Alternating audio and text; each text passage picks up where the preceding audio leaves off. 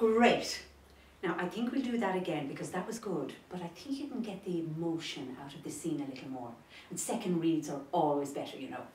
No, I think that was great. I don't think we need to do it again at all. Okay, Adam. Well, just so we have a second take, you know, and then we can decide between the two before we send it to the director. No.